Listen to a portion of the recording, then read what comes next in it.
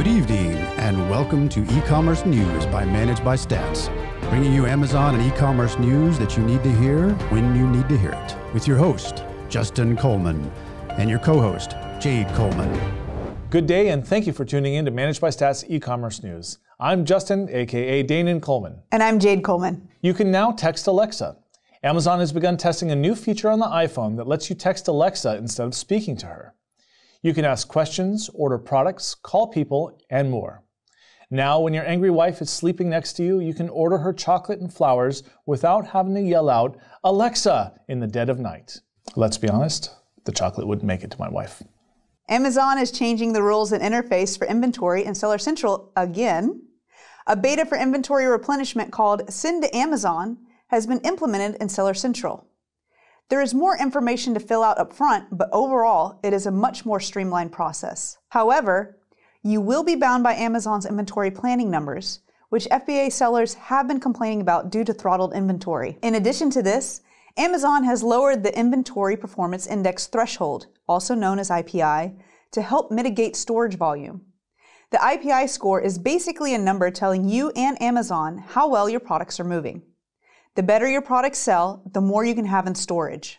As of January 1st, Amazon is responsible for collecting VAT on the following sales of goods delivered to customers in the UK. Number one, goods delivered from inventory stored outside the UK with a parcel value of up to 135 pounds. And number two, goods delivered from inventory stored in the UK, irrespective of the value where you, the seller, are not established in the UK. Now, please note that the current VAT exemption for sales of goods under 15 pounds, where goods are delivered to the UK customers from inventory stored outside the UK, has also been removed. Amazon postpones annual fee increases this year until June. Normally, Amazon increases storage and handling fees at the beginning of the year. Last year, we saw some of the highest increases since the tradition began. This year, though, Jeff Wilke, Chief of Consumer Business, aka Jeff Numero Dos, announced that this is to help sellers recover from COVID. Of the sellers who replied to his post, more than half were not happy about its focus. And digging into why, sellers on the forums are bringing up the same concerns our managed by stats users have been complaining about. Amazon's lack of effective seller support and their tendency to shut down sellers without warning, and many times without a legitimate reason, is the primary complaint we see. Most sellers would rather the money that is being spent on building new warehouses and hiring new employees be spent on handling the ineffective seller support.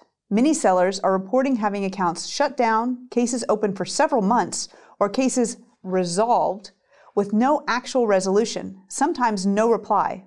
We've experienced exactly this for four months on one brand and two months on another. And our third is actually still shut down, suspended. Shut, suspended. In fakeish news, in a recent announcement from Alexa, or as I like to call it, a demand date, Michael B. Jordan, who has been named the sexiest man alive in 2020, is now dating Alexa. As we all know, the only reason the sexiest man alive can be changed from who it was is because Sean Connery has transcended to Valhalla's Hall of Manliness. May his deep Scottish voice ever reverberate the many generations to come. Well, that's all we have for this episode. We hope very much that you've enjoyed it. Have a great day. Cheerio. And may your 2021 be nothing like 2020. Unless it was really good. Yes.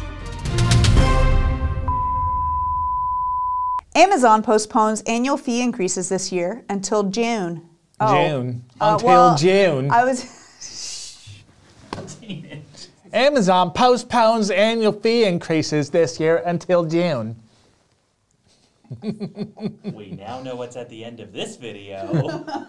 Danon gets beat by his wife for being a again. oh, lordy. Okay.